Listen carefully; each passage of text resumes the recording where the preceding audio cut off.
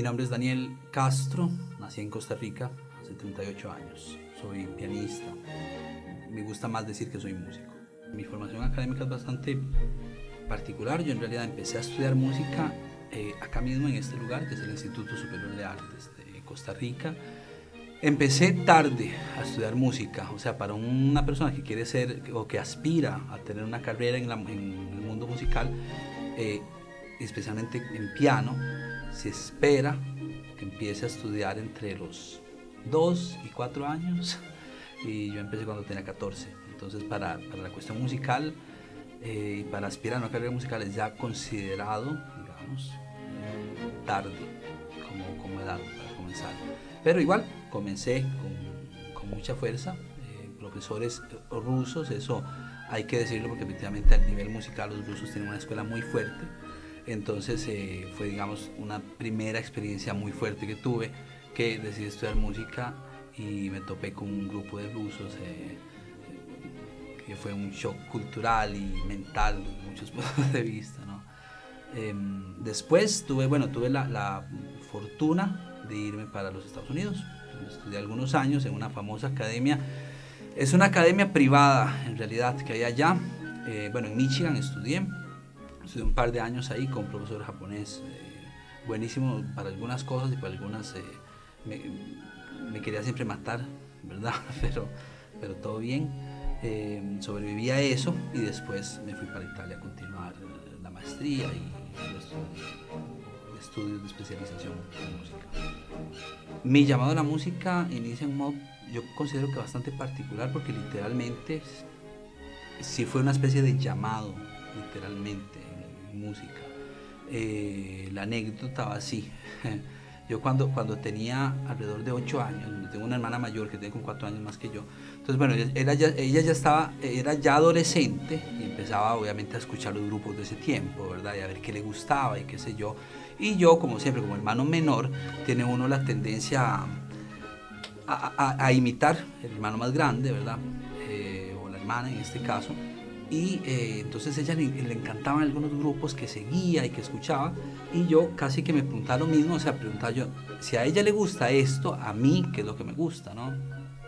Entonces, muy pequeño, a la edad de más o menos 8 o 9 años, me puse a escuchar literalmente la radio, esperando descubrir qué era lo que a mí me gustaba. Y como precisamente casi milagro, casi como una especie de llamado, de conexión muy particular que hubo, eh, me pasó de toparme con, en ese tiempo era Radio Clásica, que después se convirtió en Radio Nacional Radio Universidad eh, de Costa Rica, pero en realidad era Radio Clásica inicialmente. Y em, ahí me di cuenta que la música clásica, porque no sabía en ese tiempo ni siquiera el término música clásica, o sea, pues sabía que, fuera, ¿no? Que, qué es música clásica. Entonces me paso de llegar a ese momento, o sea, de, eh, ponerme a ver qué me gustaba y ahí efectivamente tocó toparme con, el, con la emisora de música clásica y ahí obviamente paré, ¿verdad? Me puse a escuchar, descubrí esa pequeña emisora, en ese tiempo era una especie de misterio, nunca había escuchado nada de música clásica y me topé con eso y me gustó.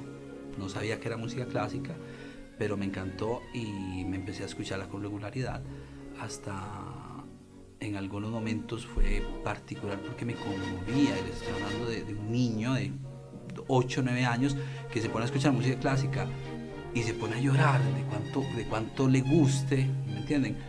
Entonces, esa es más o menos ahí donde empieza el llamado, o sea, donde, donde yo siento una conexión súper fuerte con la música clásica por algún motivo, no tengo músicos clásicos en la familia, etc.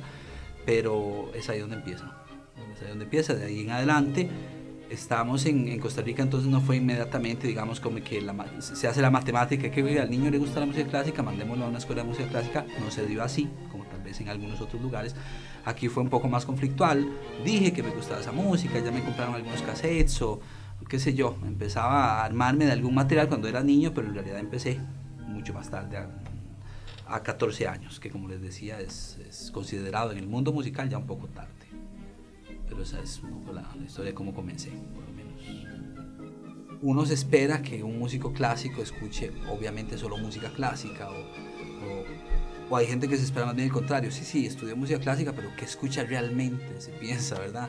Eh, tenía una, bueno, he tenido varios estudiantes más jóvenes que me dicen, sí, pero usted realmente cuando está en la casa, prof, ¿qué escucha, verdad? Eh, y yo les decía, no, no, yo escucho música clásica principalmente, tengo también otros gustos, me gusta muchísimo, por ejemplo, el flamenco, me encanta el tango, ese bailar tango, por ejemplo, eh, y no dejo de disfrutar porque no, una buena cumbia, de hecho me pasó una, una cosa súper interesante que estando en Costa Rica, no, nunca tuve una apreciación o un gusto particular o una atracción hacia la música latinoamericana y cuando me fui a estudiar al extranjero, primero en los Estados Unidos, después en Italia, sí me pasó de empezar a sentir la música eh, latinoamericana, la salsa, el merengue, el swing, lo que sea, como una cosa también mía. Entonces empecé a literalmente desarrollar un, un, ¿por qué no? Un afecto casi hacia la música latinoamericana, etcétera. Pero si me preguntas, o si me preguntan cuál es la música que más me gusta, es obvio, la música clásica y después creo que yendo en orden sería posiblemente el flamenco, después el tango y después, ¿por qué no, la música latinoamericana? ¿Qué hubiera hecho diferente en la información si pudiera volver al pasado y cambiar las cosas? Eh, yo en eso es extraño porque yo lo he pensado varias veces, el famoso, eh, ¿qué si hubiera pasado? El famoso, si hubiera hecho esto, si hubiera... Me lo he preguntado varias veces y extrañamente no tengo una respuesta en el sentido que eh, cuando, cuando se ponen esas preguntas de si esto hubiera pasado, si esto hubiera sido así, em, siempre me parece como una contradicción porque yo personalmente siempre pienso, sí, pero fue así al final, ¿me entiendes? Entonces para mí es casi imposible pensarlo hipotéticamente. Si, si tengo eh, propiamente que decir algo, eh, aparte de la música, hay pocas cosas que me gustan, me gustan mucho las artes marciales, por ejemplo.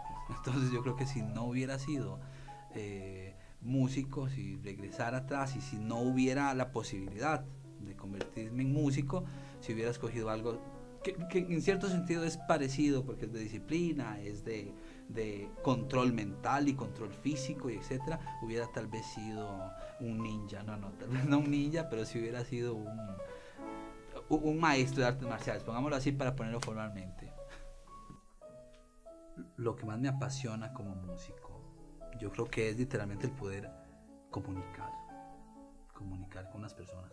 Un poco puede verse como una cuestión eh, egocéntrica o egoísta, eh, el hecho de que un músico lo que quiere es eh, poner, exponer ¿verdad? lo que es delante de otras personas, pero al final pienso que no es egoísmo, bien es, es, se puede, al contrario, casi como una cuestión de, de, que yo, yo como músico, como artista, como poeta o como pintor o como lo que sea, estoy más bien casi que representando una parte de la humanidad, en el sentido que eh, cuando vos tenés un problema, cuando uno tiene un problema, eh, ¿qué sucede?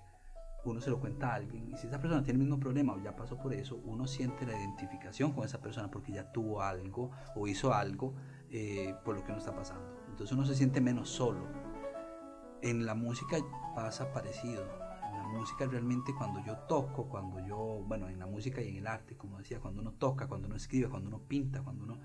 Eh, creo que realmente es un modo de decirle a las otras personas, yo también pasé por eso, yo también siento esto, yo también soy parte de esto, tengo tus mismas preguntas, no sé dónde vamos, no sé dónde vinimos, no sé para qué servimos en cierto sentido.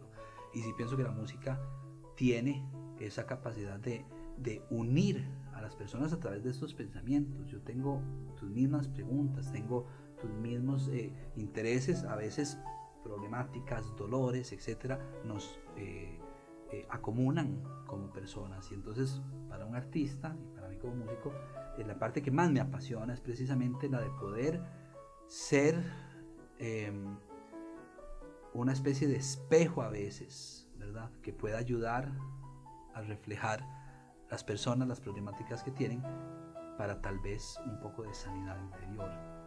Esa es la cosa que creo que más me apasiona, el poder tocar a las personas y en cierto sentido, si se puede decir, ayudarles en algunos casos, eh, ¿por qué no hasta cambiarles la vida con un concierto, aunque suene extremo, extraño, pero pasa y es una de las, de las cosas que a mí personalmente más me, me mueven del, ser músico y que me mueven a ser músico precisamente. La vida para un músico profesional en Costa Rica puede ser un poco complicada, ¿ok? porque pienso que hay poco espacio realmente a nivel cultural para toda la gente que quiere estudiar y que quiere hacer una carrera musical profesional. Entonces, si lo que tengo son tal vez dos, tres orquestas, dos, tres teatros para una cantidad mucho más vasta de músicos, es difícil, obviamente. ¿no? Lograr em, entrar en el mundo de músicos profesionales es muy difícil, es muy difícil. Y tras de eso existe una especie también de celos de los músicos que también, o que tal vez logran llegar a un cierto nivel, les costó mucho, y entonces obviamente guardan y protegen con toda energía la posición de trabajo que tienen. Ahora, tal vez uno que fue como en mi, en mi caso, estudió afuera y regresó, literalmente se tiene que encontrar, o, mejor dicho, se encuentra con una situación que hay una persona que ya que, que se ganó esa posición y trató de tener esa posición por 10 años y llega tal vez uno de afuera a tratar de quitar la posición, ellos piensan.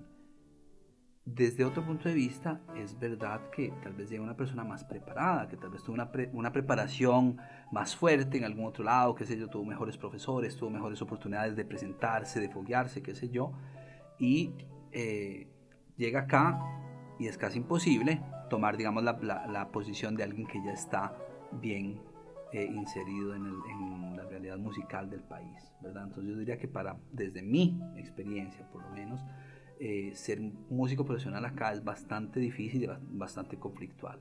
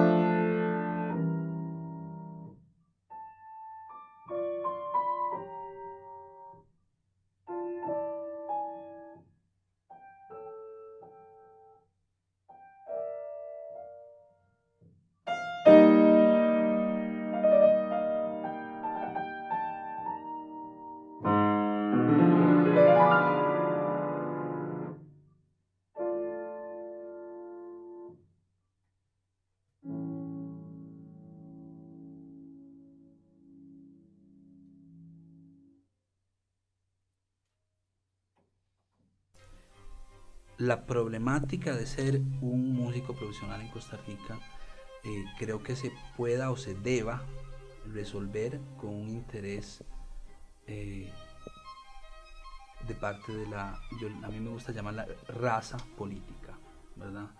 Eh, creo que se tiene que, idear algún, plan honesto. Se puede empezar a trabajar en construir una cultura que pueda realmente eh, dar el bienvenido, ¿por qué no? A los músicos realmente, a, la profesión de músico profesional. ¿ok?